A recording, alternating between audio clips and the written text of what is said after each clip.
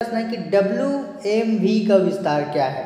तो वी का विस्तार होता है विंडो मीडिया वीडियो। यानी कि इसका आंसर कौन सा होगा? Window media video. इसका आंसर बी होगा। क्या बोला गया है? वी का विस्तार बोला गया है। डब्ल्यू एम वी का फुल फॉर्म पूछा गया है। तो इसका आंसर बी होगा। Window media video. चलिए अगला प्रश्न है अगला प्रश्न है कि यह निम्न स्तरीय प्रोग्रामिंग भाषा का अनुवाद है। यानी कि आप लोग को देखिए, मैं इसी चैनल पर आपको 50 एमसीक्यू कराऊँगा कंप्यूटर का, जो कि सी जी व्यापम, यानी कि छत्तीसगढ़ व्यापम के सिलेबस में 20 अंकों का पूछा जाता है 10 अंकों का पूछा जाता है। है ना? इस कंप्यूटर का आपको 50 एमसीक्यू कराऊँगा आज की क्लास 50 एमसीक्यू का है। ऑब्जेक्टिव क्वेश्चन कराऊँगा, जो कि सिलेक्टेड क्वेश्चन है। व्यापम में बार बार रिपीट हुआ क्वेश्चन है। याद करते चलिएगा, है ना? देखिए, पहला प्रश्न मैं आपको करा चुका हूँ। दूसरा प्रश्न कहता है कि यह निम्न स्तरीय प्रोग्रामिंग भाषा का अनुवाद है। तो इसका आंसर कौन सा होगा? इसका आंसर असेंबलर होगा। इसका आंसर कौन सा होगा? सी असेंबलर ठीक है? चलिए अगला देखते हैं। देखिए, तीसरा प्रश्न है कि एम एस वर्ल्ड डॉक्यूमेंट में, एम एस वर्ल्ड डॉक्यूमेंट में खाली स्थान, यानी कि डॉट डॉट बटन दबाने पर फाइंड एंड रिप्लेस बॉक्स का डायलॉग बॉक्स खुलता है। तो इसका आंसर डी होगा एफ़ फाइव। है ना? तो एफ़ फाइव, एफ़ टू क्या है? एफ़ थ्री क्या है? एफ़ फोर क्या है? तो आप इसका आंसर कमेंट में कमेंट में ज़रूर बताएँ। है ना? ये तीनों को आप कमेंट में ज़रूर बताएँ कि इसका क्या होता है। एफ़ टू का क्या होता है एफ़ थ्री का क्या होता है एफ़ फोर का क्या होता है। पिछले वीडियो में मैंने कंप्यूटर का सारी क्लासेस करा दिया हूँ मैं, आप जाके देख सकते हो। ठीक है? इन तीनों का आप कमेंट में ज़रूर करके बताएँ। चलिए अगला प्रश्न देखते हैं। कंप्यूटर वायरस क्या है? कंप्यूटर वायरस एक कंप्यूटर कोड है। आप सभी को पता होगा कंप्यूटर वायरस क्या होता है? कंप्यूटर कोड होता है। या इसको बोल सकते हैं कंप्यूटर सॉफ्टवेयर भी बोल सकते हैं। अगर देखिए, यहाँ पर कंप्यूटर वायरस अगर पूछा गया है एग्ज़ाम में, अगर कंप्यूटर कोड की जगह कंप्यूटर सॉफ्टवेयर दिया रहेगा तो आप उसको भी लगा सकते हैं। वो भी आंसर होगा। अगर दोनों नहीं दिया है तो कोई नहीं होगा। लेकिन अब यहाँ पर दिया गया है कि कंप्यूटर कोड दिया है तो इसका आंसर सी होगा। ठीक है, इसका आंसर कौन सा होगा? सी होगा। चलिए अगला प्रश्न है। निम्न में से कौन सा परम सुपर कंप्यूटर श्रेणी का सदस्य नहीं है? मैं आप सभी को बताया हूँ कि बार बार सद नहीं है, सही नहीं है कि हाँ ये सब पूछा जाता है। तो इसका आंसर डी होगा। क्या होगा? परम क्रांति। यानी कि परम आठ हज़ार। है ना? इसका आंसर कौन? सॉरी, इसका आंसर,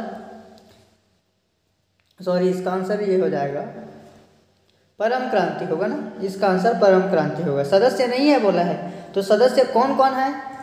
तो सदस्य कौन कौन है? यहाँ पर आप देख सकते हैं। सदस्य है परम पदम, परम युवा और परम आठ हज़ार। ठीक है? ये परम एट ज़ीरो ज़ीरो, ये परम सुपर कंप्यूटर श्रेणी के सदस्य है। लेकिन यहाँ सदस्य नहीं है पूछा गया है। तो सदस्य नहीं है पूछा गया है तो इसका आंसर कौन सा होगा? परम क्रांति होगा। है ना? चलिए अगला देखते हैं। बीट्स का तात्पर्य होता है बाइनरी डिजिट। तो इसका आंसर कौन सा होगा? आपको कहाँ पर दिख रहा है? बाइनरी डिजिट, यानी कि आंसर डी। ये वाला होगा बाइनरी डिजिट, है ना? ये डी हो जाएगा। चलिए अगला देखते हैं। निम्न में से कौन सा हिंदी वायरस है हिंदी वायरस है तो उपरोक्त सभी होगा। वायरस क्या है? देखिए, यहाँ पर वायरस पूछा गया है। एवस्त मैकफी नॉर्थन, ये सब। देखिए, यहाँ पर वायरस कौन कौन सा होता है? आपको मैं बता देना चाहता हूँ। एवस्त एक वायरस है। एवीजी भी एक वायरस है, नॉर्थन भी वायरस है। मैकफी मैकफी, ये भी वायरस है। मैकफी एक वायरस है। अगर यहाँ पर और दिया रहता तो मैकफी भी आता। मैकफी भी वायरस है। एवस्त मैकफी नॉर्थन, क्विक देखिए अब देख, मैं आप सभी को बताऊँगा यहाँ पर कौन कौन सा वायरस होता है। एवस्त एक वायरस हो गया एवीजी भी वायरस हो गया नॉर्थन भी वायरस हो गया। Quick Heal Quick Heal Quick Heal भी एक वायरस है। क्विक हील एक वायरस है नॉर्थन भी वायरस है एवस्त भारत है है ना? मैकफी मैकफी मैकफी भी वायरस है। पाँच प्रकार का यहाँ पर मैं आपको वायरस बता चुका हूँ मैं। सभी वायरस है ये। चलिए अगला देखेंगे। निम्न में से कौन सा प्रिंटर आमतौर पर डेस्कटॉप पब्लिशिंग हेतु उपयोग में लाया जाता है? निम्न में से कौन सा प्रिंटर आमतौर पर डेस्कटॉप पब्लिशिंग हेतु उपयोग में लाया जाता है? इसका आंसर कौन सा होगा? लेजर प्रिंटर होगा। आंसर भी होगा। चलिए जल्दी जल्दी आपको कराते जाऊँगा। पचास एम क्यों कराना ना आपको तो जल्दी जल्दी कराएँगे। ज़्यादा टाइम वेस्ट नहीं करेंगे, है ना? चलिए देखते हैं यहाँ पर। निम्न से किसने थ्री प्रिंटिंग तकनीक का आविष्कार किया है? किसने थ्री प्रिंटिंग तकनीक का आविष्कार किया गया तो चार्ल्स हुल ने थ्री प्रिंटिंग तकनीक का आविष्कार किया गया ठीक है? चार्ल्स हुल ने किया है। आंसर डी होगा। चलिए अगला देखते हैं।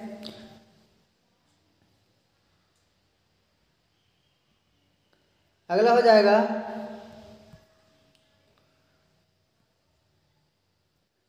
जंक ईमेल को कहा जाता है। जंक ईमेल को क्या कहा जाता है? जंक ईमेल को इस जंक ईमेल को क्या कहा जाता है? स्पूप कहा जाता है ना? जंक ईमेल को स्पूप कहा जाता है। चलिए अगला देखते हैं। सर्च इंजन क्या है? सर्च इंजन से क्या प्राप्त करते हैं? उपरोक्त सभी वीडियो प्राप्त करते हैं, इमेज प्राप्त करते हैं डॉक्यूमेंट प्राप्त करते हैं। इसका आंसर कौन सा होगा? डी हो उपरोक्त सभी होगा। क्या क्या प्राप्त करते हैं सर्च इंजन से? वीडियो प्राप्त करते हैं। वीडियो से हम क्या कर सकते हैं? वीडियो में गेमिंग खेल सकते हैं मतलब देखिए यहाँ पर वीडियो में बहुत सारी देख सकते हैं, वीडियो को पढ़ाई से है, रिलेटेड से वीडियो, गेम, ये सब देख सकते हैं। इमेज है डॉक्यूमेंट है इमेज है डॉक्यूमेंट ये सभी है, इंजन प्राप्त कर सकते हैं, ठीक है? चलिए जल्दी से उसके बाद और जल्दी जल्दी करते हैं टाइम नहीं है हमारे पास, है ना? एसीओ क्या है? एसीओ का मतलब होता है सर्च इंजन ऑप्टिमाइजेशन इसका आंसर कौन सा होगा? Search engine optimisation search engine optimisation कौन सा होगा इसका answer search engine optimisation optimisation है ना?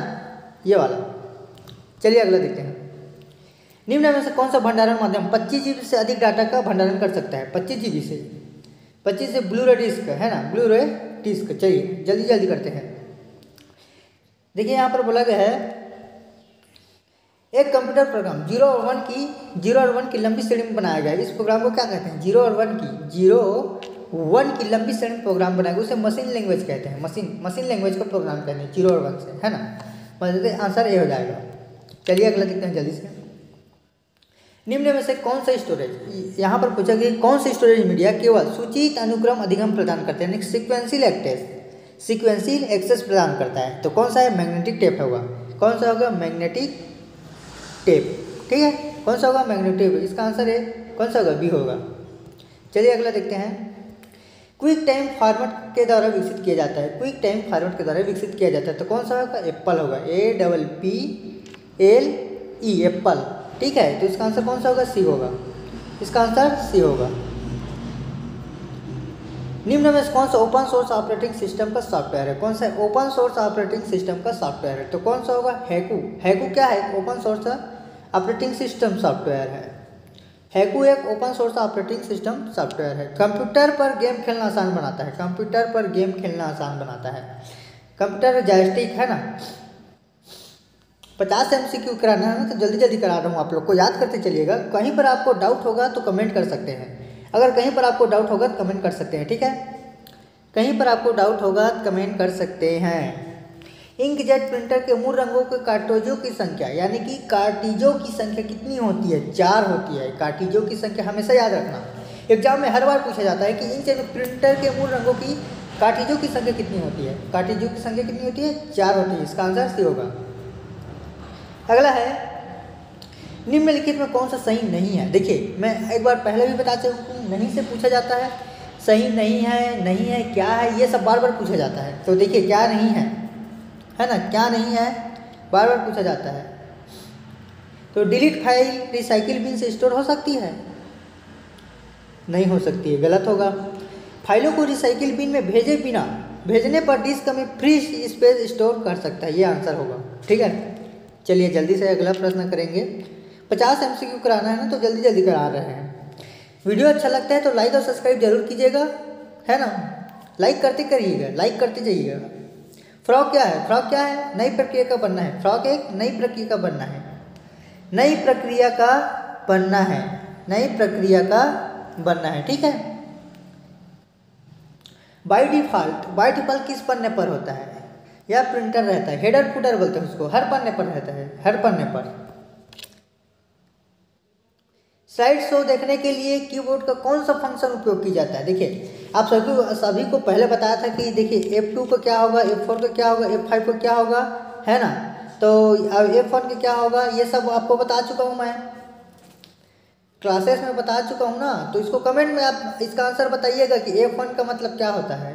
F2 का क्या होता है? F4 का क्या होता है और ए फाइव का क्या होता है? इसका आंसर कौन सा होगा? ए फाइव होगा। कमेंट में बताइएगा इसका क्या क्या होता है एफ़ वन का। फोल्डर बनाना होता है कि नई प्रक्रिया का बनना होता है, क्या होता है? एफ़ टू का मतलब स्लाइड शो देखना होता है, क्या होता है? ये सब आप बताइएगा। एफ़ फाइव को तो अभी बताया कि स्लाइड शो होता है करके। एफ़ फोर का मतलब होता है कि विंडो को बंद करना। जैसे देखिए कंप्यूटर जैसे खुला है तो इसको बंद कर सकते हैं एफ़ फोर में। है ना? एफ़ टू में क्या होता है? और एफ़ वन में क्या होता है? एफ़ वन में क्या होता है? कमेंट में बताइएगा। एफ़ टू में क्या होता है? कमेंट में बताइएगा, है ना? चलिए जल्दी से स्टार्ट करते हैं इधर, है ना?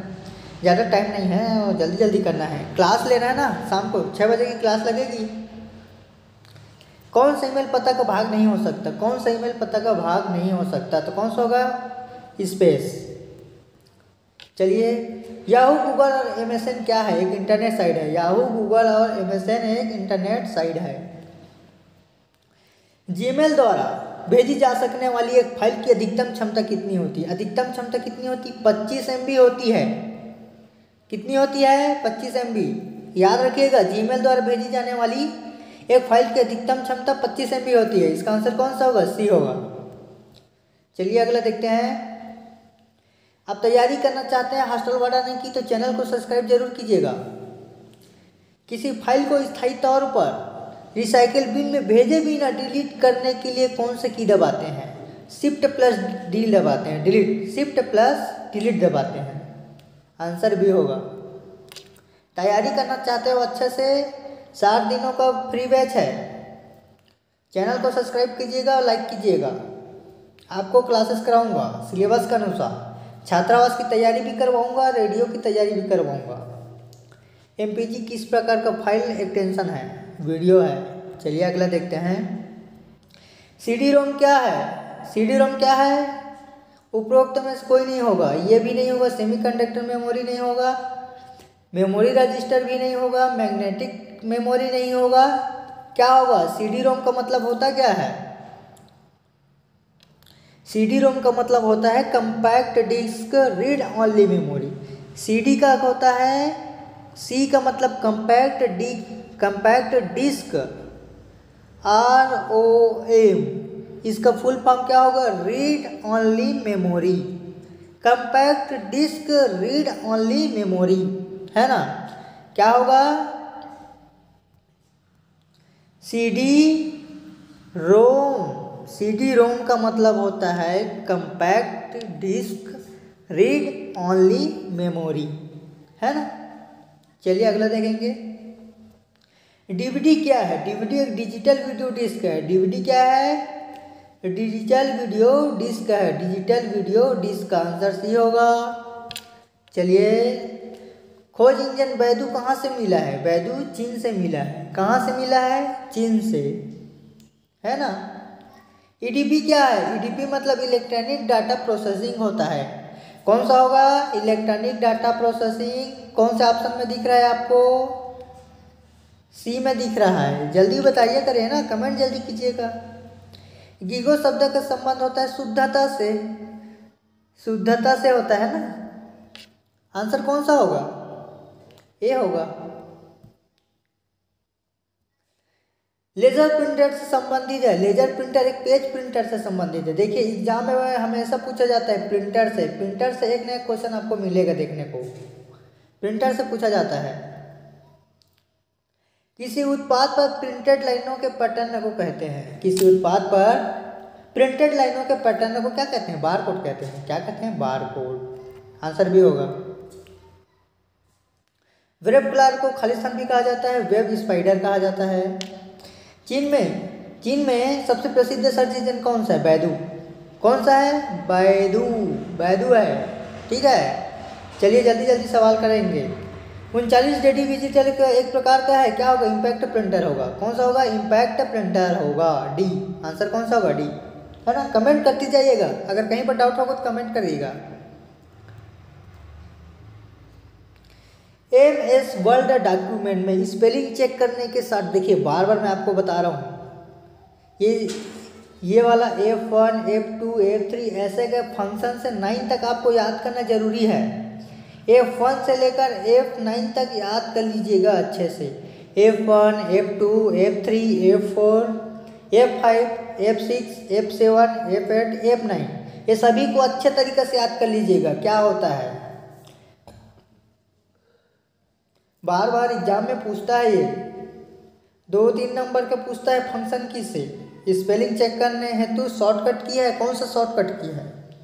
स्पेलिंग चेक करने हेतु कौन सा शॉर्ट की है? एफ़ सेवन एफ़ सेवन है। चलिए अगला देखेंगे। किसी व्यक्ति की पहचान की हेरा फेरी कर, किसी व्यक्ति की पहचान की हेरा फेरी कर, किसी व्यक्ति की गोपनीय सूचना प्राप्त करना। किस प्रकार का प्रयास है? तो कौन सा प्रयास है? फिशिंग स्कीम आपको पहले भी कंप्यूटर का पूरा क्लास करा चुका हूँ। इसका आंसर कौन सा होगा? फिशिंग स्कीम इसका आंसर सी होगा। चलिए अगला है। अगला है।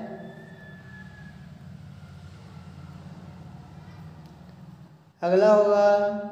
इनपुट और आउटपुट डिवाइस कंप्यूटर के खाली के माध्यम से जुड़े होते हैं। देखिए, इनपुट और आउटपुट से एग्ज़ाम में एक दो नंबर का पूछता ही पूछता है।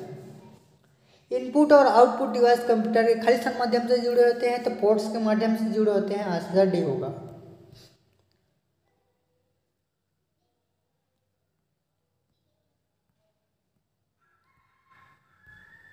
आंसर डी होगा।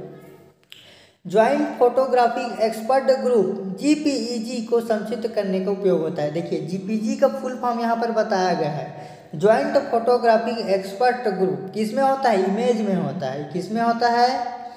इमेज में। इमेज में होता है है ना? किसमें होता है? इमेज में। एक्सल सीट की एक पंक्ति, यानी कि रो को छुपाने के लिए शॉर्टकट की कौन सा है? रो और सबसे पहले ये बताइए कि रो और कॉलम होता क्या है? रो कॉलम ऐसे बनता है। रो और कॉलम ऐसे बनता है। ठीक है?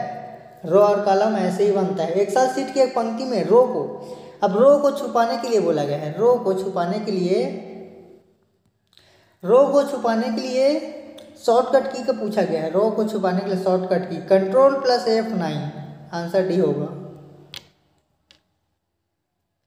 यह यूनिक्स के जैसा मुक्त ऑपरेटिंग सिस्टम सॉफ्टवेयर है, कौन सा होगा? कमेंट में ज़रूर बताइएगा। कमेंट में ज़रूर बताइएगा। ठीक है? एक वीडियो के तारतम्य से बना होता है, एक फ्रेम के तारतम्य से बना होता है, आप सभी को पता है, फ्रेम फ्रेम के तार से बनता है। आंसर यह होगा। निम्न में से अलग कौन है? निम्न में से अलग कौन है, बताइए। C D D V D floppy disk H D disk, BIOS. देखिए यहाँ पर ये सब डी वी डी ये सब एक ही चीज़ है। ये तीनों कौन सा है? एक ही है। बायोस अलग है। बायोस अलग है। बायोस का फुल फॉर्म क्या होता है? बायोस का फुल फॉर्म क्या होता है? कमेंट में बताइए। बायोस का फुल फॉर्म क्या होता है? एक्सेल सीट की एक पूरी कॉलम यानी कि स्तंभ को चयन करने की आवश्यक शॉर्ट की कौन सा है? Control plus space bar control plus space bar है ना? कंट्रोल प्लस स्पेस बार होता है। कमेंट करते रहिएगा। लाइक और सब्सक्राइब तो करिएगा, लेकिन कमेंट ज़रूर करिएगा। कहीं पर डाउट होता है तो पूछ सकते हो। डिस्क्रिप्शन के नीचे लिंक दिया गया है व्हाट्सएप ग्रुप का। ज्वाइन कर लीजिएगा। टेलीग्राम का भी दिया गया है लिंक जाकर डाउनलोड कर लीजिएगा या फिर ज्वाइन कर लीजिएगा। है ना? चलिए देखते हैं अगला सवाल। लास्ट सवाल भी होने वाला है। निम्न में से किसका सबसे तेज एक्सेस टाइम होता है? निम्न में से किसका सबसे तेज एक्सेस टाइम होता है? तो सेमीकंडक्टर का होता है। याद रखना सेमीकंडक्टर का होता है। लास्ट सवाल है हमारा आज का। उच्च गुणवत्ता वाली कैड उच्च गुणवत्ता वाली कैड सिस्टम ड्राइंग और ग्राफ हेतु प्रिंट हेतु डिवाइस का उपयोग किया जाता है।